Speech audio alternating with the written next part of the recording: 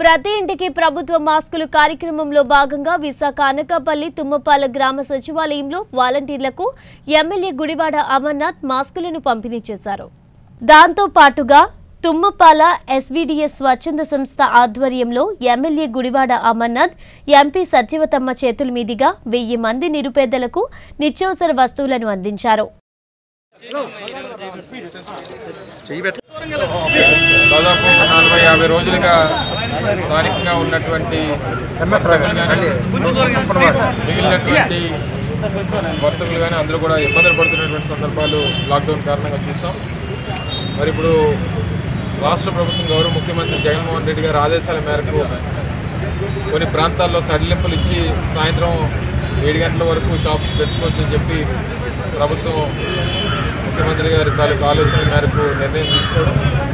కాకపోతే కొన్ని ప్రాంతాల్లో ఇంకా పట్టణ ప్రాంతాలు ఏవైతే విశాఖపట్నం నగరం ఇవన్నీ ఇటువంటి ప్రాంతాల్లో ఇంకా కొన్ని సడలింపులు ఇవ్వనప్పటికీ అనకాపల్లి జీవీఎంసీ పరిధిలో ఉన్నప్పటికీ అనకాపల్లిని వేరుగా చూడమని చెప్పి గౌరవ కలెక్టర్ గారిని రిక్వెస్ట్ చేయడం.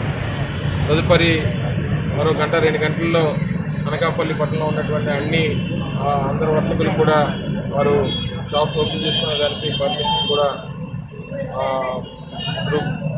పోలీస్ డిపార్ట్మెంట్ ద్వారా రావడం జరుగుతుంది. వారందరికీ కూడా కొంత ఉపశమనం ఇటువంటి సమయంలో ప్రభుత్వానికి ప్రజలకి సహకరించి వాళ్ళు షాప్స్ దాదాపు యాభై రోజుల పాటు మూసివేసిన సందర్భంలో వాళ్ళు కూడా ఇబ్బందులు పడుతున్నటువంటి తరుణంలో వారికి ఉపశమనంగా వారు ముఖ్యమంత్రి గారి ద్వారా వారికి తెలియజేస్తూ వారు కూడా షాప్ ఓపెన్ చేసిన తర్వాత ప్రభుత్వం చెప్పినటువంటి నాట్స్ అన్నింటినీ కూడా సోషల్ డిస్టెన్సింగ్ మెయింటైన్ చేస్తూ గుంపులు గుంపులుగా షాప్స్ దగ్గర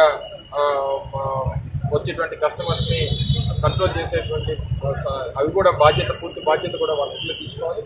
అటువంటిది ఏదైనా అతిక్రమణిస్తే చర్యలు తీసుకునేటువంటి పరిస్థితి కూడా ఉంటాయన్నటువంటి కూడా మీ ద్వారా తెలియజేస్తాం.